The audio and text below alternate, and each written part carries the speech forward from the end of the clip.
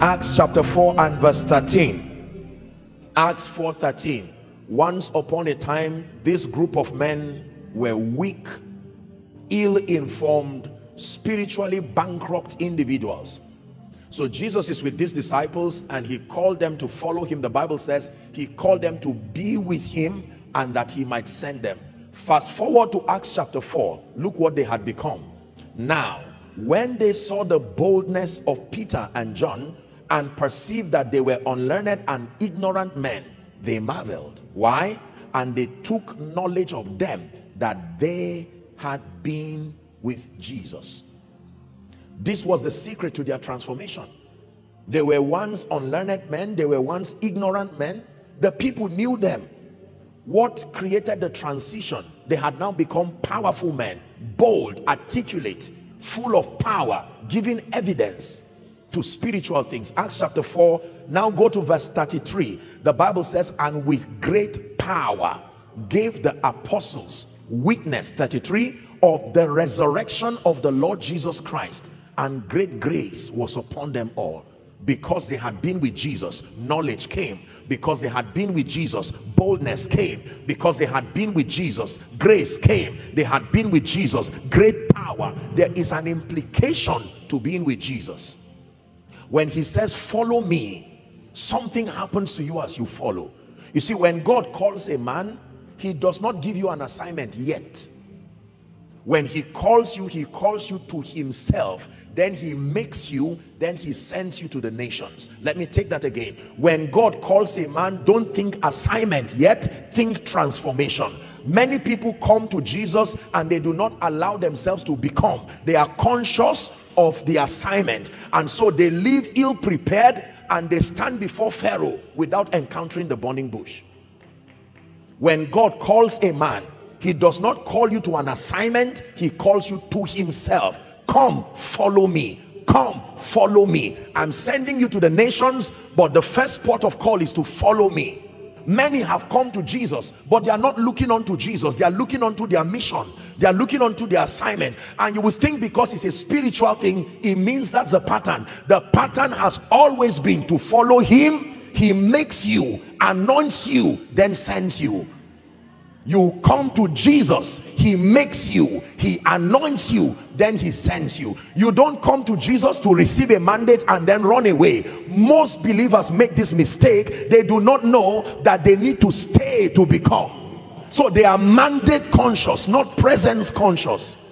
They want an assignment. They want an anointing. They don't need Jesus for transformation. They just need him to attest upon their lives their ministries no one that we stand before the nations and there is no evidence of knowing him. The bible says because they had been with jesus not because they received a mandate. They marveled because they had been with jesus. Are we learning? Jeremiah chapter 6 and verse 16 there is an exact defined spiritual pathway that leads to maturity and stature in the spirit. Please lend me your attention. Something is about to change in your life now. I want to show you an ancient path the path that those who serve god's purposes effectively followed. When it has to do with being made in the spirit you are not given the liberty to invent your strategy. There is a predefined strategy. Your assignment is to be led through that path by the spirit and if and when you allow yourself to be led through that path the end of it is glory. The bible says thus saith the lord stand ye in the ways and see and ask for the old path. Where is the good way? And walk therein and ye shall find rest for your souls. But they said we will not walk therein. Please look at me. In every generation there seem to be certain individual not many individuals who carry unusual dimensions of the anointing unusual investments of the spirit of revelation just functioning in unusual dimensions i can tell you this that disparity is not necessarily God's predeterminate counsel. It is because most believers have not been mentored to understand the pathway that leads to authentic power, the pathway that leads to grace. We have a lot of colleges in Canada, I believe, and I'll always give this example. Say, for instance, if we have a gentleman here who intends to become a doctor, talk to me intelligent people. What is your recommendation to this gentleman on his journey or ambition to becoming a doctor? He cannot freelance knowledge and become a doctor. He cannot select what he wants. There is an exact body of knowledge that translates that individual to be called a doctor. Am I right on that?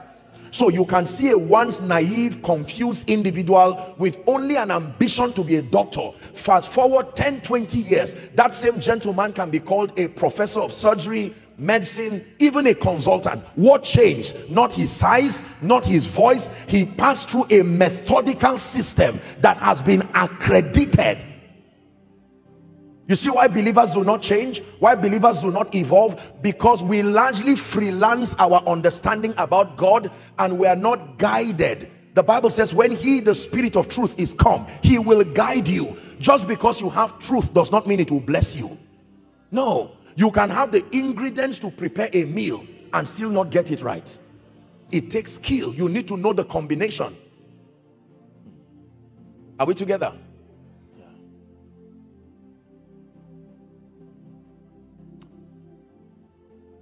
So many believers want to grow. Many believers want to access genuine apostolic power. Many believers want to experience the favor of God. Many believers want their lives to count.